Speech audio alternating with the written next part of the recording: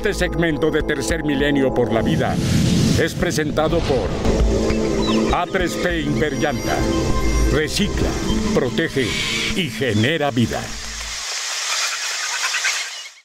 La vida silvestre, la vida salvaje de todo el planeta está sufriendo una verdadera hecatombe. En los últimos 50 años ha desaparecido el 60%. En poco tiempo ya no habrá animales que admirar, animales de los cuales aprender, animales que forman parte del ciclo de la vida de nuestro planeta. Es realmente muy triste y muy grave. Y peor aún que no le damos la importancia que tiene. Los gobiernos no atienden estos llamados, a nadie parece interesarles realmente defender a nuestros compañeros del planeta. Aquí le vamos a presentar la nueva arca de Noé con en tercer milenio por la vida con Sebastián Amigo. Un intento que se está haciendo en los Estados Unidos, en San Diego, por rescatar a estas especies de la extinción. Y aquí en México tenemos que unirnos y hacer algo. Somos el cuarto país en el planeta con abundancia de especies. No es justo, simplemente no es justo. Y la sobrepoblación, el principal responsable. Esto es Tercer Milenio por la Vida con Sebastián Amigo.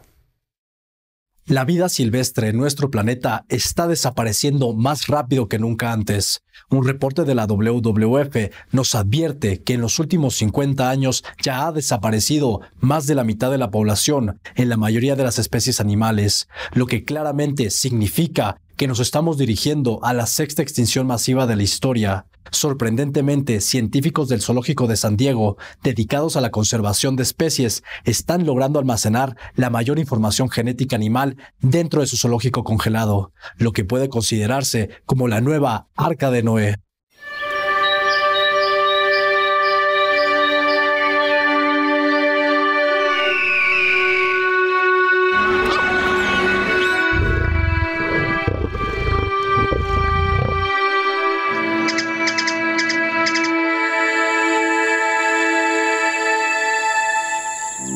Planeta Tierra alberga más de 8 millones de especies identificadas de plantas y animales dentro de sus vastos ecosistemas. Nuestra biosfera representa el medio más perfecto que conocemos para el desarrollo y florecimiento de la vida. Lamentablemente, un reporte publicado por la World Wildlife Fund, la WWF por sus siglas en inglés, advierte que en los últimos 50 años la humanidad ha provocado la reducción de más del 60% de las especies animales que habitan este planeta.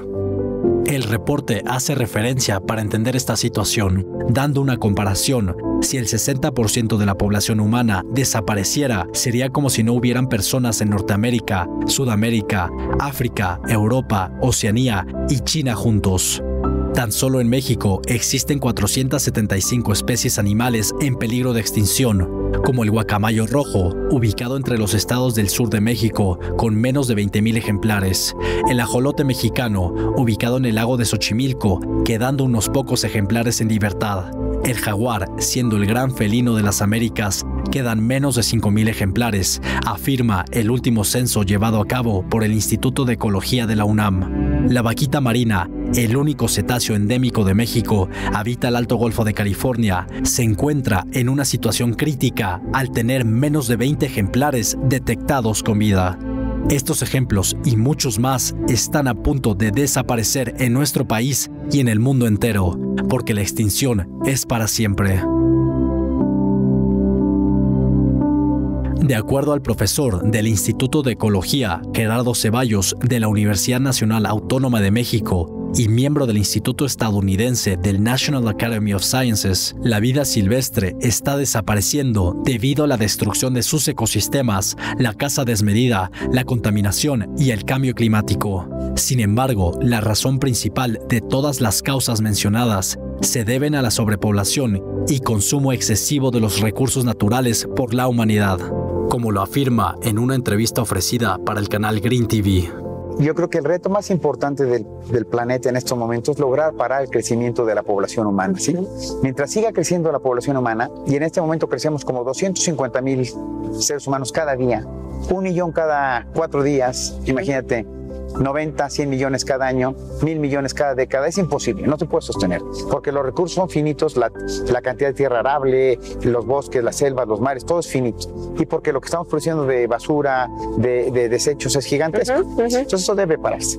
Pero una vez que tú lo has dicho, en esta transición a que lleguemos a eso, si logramos llegarlo, eh, porque el llegar a que se estabilice la población, tenemos eh, como, como eh, población humana dos derroteros, uno que se estabilice y otra que se colapse. Y los dos son posibles porque en la naturaleza eso es lo que ocurre con una población que ha crecido como la de los seres humanos.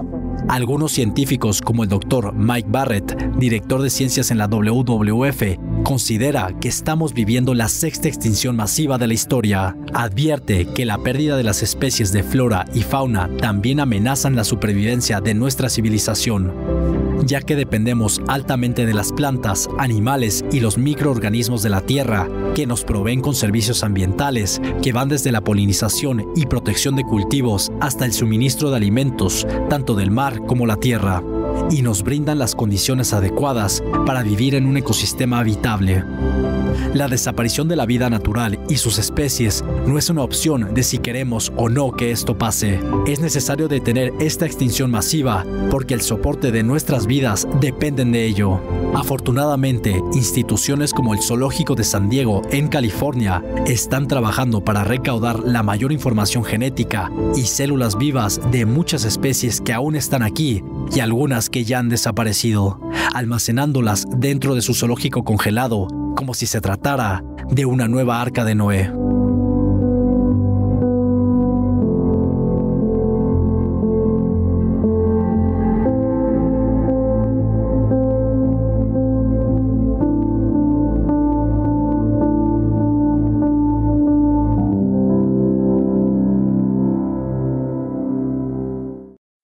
El día de hoy nos encontramos en Escondido, California, en el Safari Park del Zoológico de San Diego, dentro de las instalaciones del Frozen Zoo o el Zoológico Congelado. Aquí conoceremos los grandes esfuerzos que se están haciendo para recopilar los genes de las especies que se han extinto y las que están por desaparecer, también con el fin de incrementar los números de las que aún se encuentran con vida. Acompáñenos en esta investigación.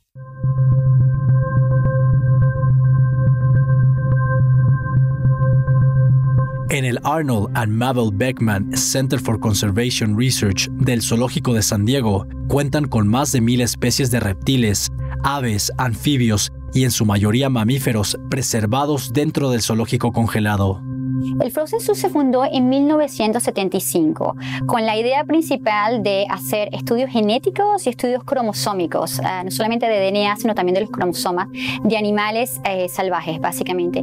La idea empezó con ah, um, uh, algunos de los animales que tuviésemos en, nuestra colección aquí en el San Diego Zoo y después se expandió al recibir muestras de, de, otros lugares, de otras colecciones y de otros zoológicos también. La misión de este proyecto es conservar a las especies animales utilizando el material genético para hacer un rescate de las especies que se encuentran en peligro de extinción buscando añadir la mayor cantidad de información genética que le permitirá a las especies animales preservadas incrementar sus números con mayor eficacia. Estamos totalmente desarrollando la ciencia que está, detrás de poder hacer ese rescate genético de las especies. Y yo totalmente estoy convencida de que material genético como el que tenemos en el Frozen Zoo, las células vivas, va a ser fundamental en un futuro para poder este, ayudar al rescate genético de las especies representando un trabajo único al ser los pioneros en tener material genético y células vivas de los ejemplares que gracias a las nuevas tecnologías permitirá utilizarlo para el rescate genético de las especies y para el proceso de la clonación. Para lograr todo esto, los científicos del Institute for Conservation and Research tuvieron que incubar las células en condiciones que las hicieran sentir que estaban dentro de un cuerpo vivo con la temperatura y alimentación adecuada. Las células tienen que crecer utilizando medios diferentes y también temperaturas diferentes. Como tú sabes, hay animales que son animales de sangre caliente o animales de sangre frío. Por eso, como tú puedes ver acá, tenemos incubadoras que están a diferentes temperaturas. Esa es una incubadora, por ejemplo, que es para crecer células de mamífero a 37 grados centígrados, como puedes ver acá. Esta es una incubadora para crecer este, pájaros. Este, las células de los pájaros crecen a temperaturas un poco más altas, a 40 grados centígrados. Aunque la tecnología para atraer especies extintas de regreso a la vida sigue en desarrollo, en un futuro muy cercano puede ser una realidad, y las células congeladas representarán una pieza fundamental para poder hacerlo. Sin embargo, la intención actual por parte de los científicos del Frozen Zoo del Zoológico de San Diego es rescatar a las especies que aún se encuentran aquí, inclusive especies tan amenazadas como nuestro único mamífero marino endémico de México, la vaquita marina. Recientemente, este año, eh, el, equipo de, de, citogenética, que es el equipo que trabaja con el Frozen Zoo y con las células, eh, desarrollaron las, condiciones ideales para poder eh, eh, almacenar por primera vez en la historia de, la vaquita este, células vivas de vaquita en nuestro Frozen Zoo. Esto fue un proyecto de colaboración con el gobierno mexicano y con el gobierno americano. Muchas instituciones colaboraron ah, para esto. Este, se hizo ah, un estudio ah, de la vaquita en México, en Baja California, este, y cuando dos individuos fueron capturados, este, hubo la posibilidad de este, tomar biopsias de esos individuos. Una era un individuo juvenil, una hembra juvenil, y el otro era un individuo adulto, una hembra adulta. Y de las dos hembras se tomaron muestras que se, que se trajeron inmediatamente a San Diego. Por supuesto, siguieron siguiendo todos los protocolos de permiso, porque es una especie en peligro de extinción. El Frozen Zoo representa un ejemplo a seguir para los demás zoológicos y centros de conservación en el mundo, especialmente en países como el nuestro, que tiene el privilegio de contar con una gran biodiversidad.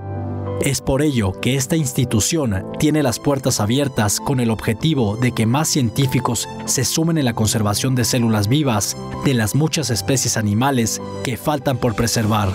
Es parte de nuestra misión acá en el instituto este, y parte de la misión del Frozen Zoo es tratar de crear este, lo que nosotros llamamos un network, una red eh, de Frozen Zoos a nivel mundial. Creemos que es súper importante que los científicos y las personas que trabajan en biología de la conservación y el público en general se concienticen acerca de lo importante que es salvar material genético de todas las especies, especies en peligro de extinción en particular, pero de todas las especies. Es alentador pensar que muchas especies que están en riesgo de desaparecer puedan recuperarse con los nuevos avances de la ciencia y la tecnología. Sin embargo, esto no significa que tenemos el derecho a seguir cazando por deporte y destruir los ecosistemas en donde habitan muchas de las especies animales que se encuentran en una situación vulnerable. Debemos continuar sumando esfuerzos en torno a la protección y conservación de los animales con quienes compartimos nuestro hogar, el planeta Tierra.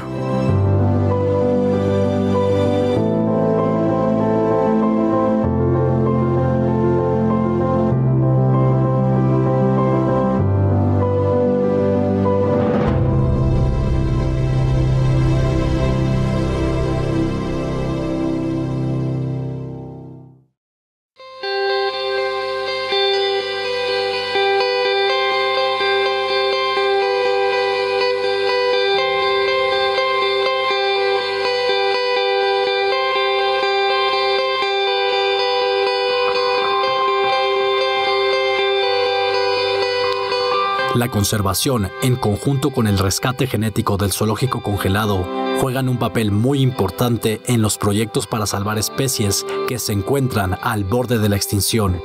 Un ejemplo emblemático que se está llevando a cabo en el Safari Park del Zoológico de San Diego es el rescate del rinoceronte blanco del norte.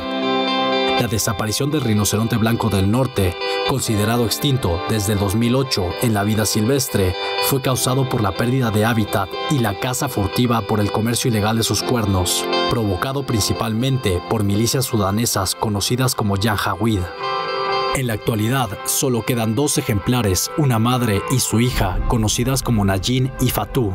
Se encuentran en el Parque de Conservación OL en Kenia, Favorablemente, la información genética almacenada en el zoológico congelado está destinada para incrementar la población del rinoceronte blanco del norte, utilizando a seis madres portadoras de su subespecie, el rinoceronte blanco del sur.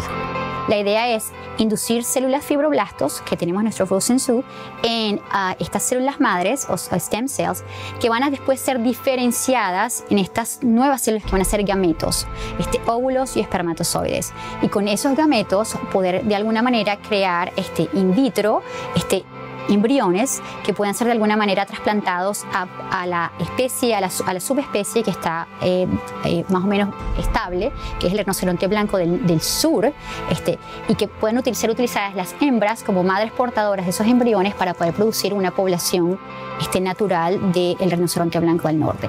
Es la idea de pasar de una célula que, tenemos en nuestro Frozen Zoo a un embrión que pueda producir de alguna manera un individuo este, eh, que va, a incorporar nueva variabilidad genética y, y va a incrementar el tamaño poblacional del rinoceronte blanco del norte para lograr lo que se llama el rescate genético.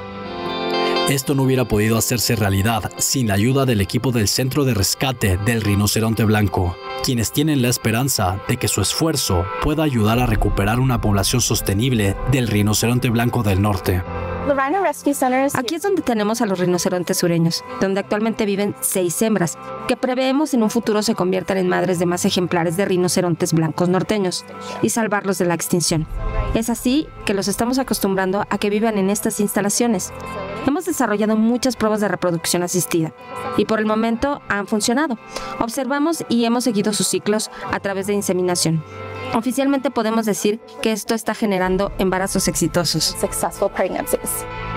La pérdida de una especie animal amenaza la estabilidad de su ecosistema, así como el balance en la cadena trófica, debido a que otras especies animales y plantas, en la mayoría de los casos, dependen de la presencia de cada ejemplar que habita en su entorno. Demostrado así en el caso cuando el lobo gris se introdujo nuevamente al Parque Nacional Yellowstone en el estado de Wyoming de los Estados Unidos quien había sido exterminado por la mano del hombre en 1920, causando un desbalance ecológico considerable. Suceso que ha cambiado 24 años después de su reintroducción en 1995. De hecho, nosotros invadimos los lugares donde estaban los lobos y las cosas cambiaron para ellos. Llegamos y quisimos competir con los lobos. Y una de las cosas que enojan mucho a los cazadores, y lo pienso cuando lo digo por lo que implica, pero es verdad, en la mayoría de los casos los lobos son mucho mejores cazadores y a los hombres no les gusta eso. Hay unos 900 lobos en el parque y cerca de 2.000 en las montañas rocosas del norte, en esta parte del salvaje oeste. Entre las fronteras de Wyoming, Idaho y Montana, ellos son los carnívoros número uno. Sin ellos los alces en el parque aumentarían y entonces el ecosistema perdería equilibrio. No es algo muy agradable de ver, pero es como siempre han sido las cosas. Ecólogos como el profesor Tom Hobbs de la Universidad Estatal de Colorado afirma que gracias al regreso de los lobos en Yellowstone, las manadas de alces sobrepobladas han disminuido, lo que ha permitido la recuperación de vegetación de sauces y álamos. En consecuencia, los ríos del parque se han recuperado. Por lo tanto, especies de aves y castores han regresado a su hábitat. Estos ejemplos demuestran que no hay límites si se trata de querer recuperar a una especie de regreso a la estabilidad, ya que si realmente dedicamos el tiempo y el esfuerzo, al igual que lo han hecho los integrantes de los centros de conservación animal, podemos lograr la recuperación de muchas especies que por nuestra culpa han sufrido la extinción.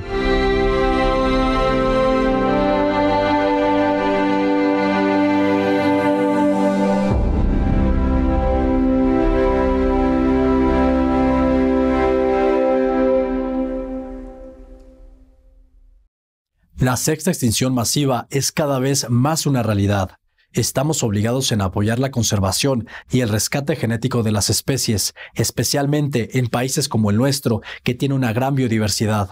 Los ejemplos presentados demuestran que ya es posible salvar especies que están al borde de desaparecer, representando una labor necesaria para asegurar que la vida de nuestras generaciones futuras y las de todas las especies animales continúen existiendo. ¿Hasta dónde y hasta cuándo? ¿Cuándo vamos a respetar el hábitat de las especies, las selvas, los bosques? ¿Cuándo vamos a dejar de comerciar con ellos? ¿Cuándo verdaderamente los vamos a hacer dignos de derechos? ¿Cuándo el ser humano va a aprender? ¿Cuando sea demasiado tarde? La extinción es para siempre. La especie que se va no regresa, no regresa jamás. Aquí se están haciendo esfuerzos por tratar de recuperarlos, guardando los genes, pensando en el futuro, ¿se logrará? Tratemos ahora de respetar a todos nuestros compañeros en esta nave llamada Tierra. Y esto es lo que veremos la siguiente semana en Tercer Milenio por la Vida. En el siguiente capítulo de Tercer Milenio por la Vida, recientemente científicos geólogos descubrieron una falla tectónica que involucra la seguridad tanto de México como Estados Unidos. Pronostican que la falla del Cañón de la Rosa puede causar un cataclismo de grandes dimensiones en los próximos 20 años. Si no nos preparamos para enfrentar sus efectos antes de que llegue el día que se rompa, las pérdidas humanas y de vivienda serán catastróficas.